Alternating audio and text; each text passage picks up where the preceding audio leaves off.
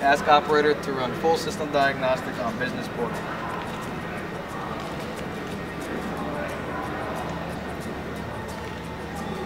Complete report for Ayehu Business Portal diagnostic. There are two issues detected.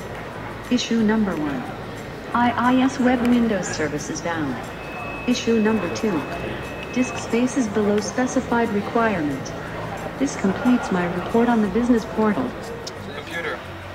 Ask operator to suggest a solution.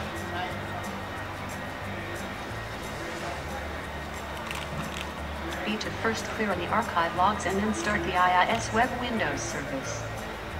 Now I can do three things. I can do first suggestion, second suggestion, or I can carry out both at the same time.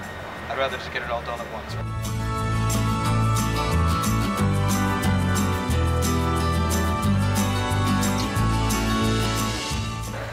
Computer, ask operator to notify team.